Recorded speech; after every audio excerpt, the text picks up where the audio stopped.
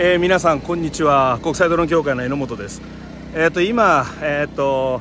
農薬散布、えー、流剤散布ですね。粒になってる固形の、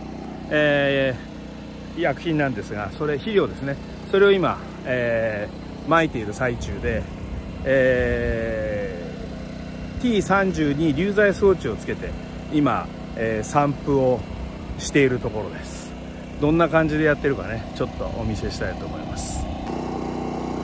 えー、っと1旦田んぼ1枚ですね。1旦40キロっていう結構な量なんですがそれを、えー、ドローンで巻くことを今やっています。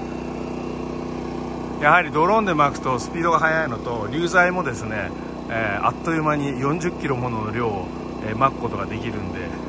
非常に効率がいいです。でしかもこうやって稲がねこうやって育って伸びてきたら機械が入ってこう作業するよりえー、空から、えー、均等に巻いた方がより正確に巻くことができるのでメリットが大きいです。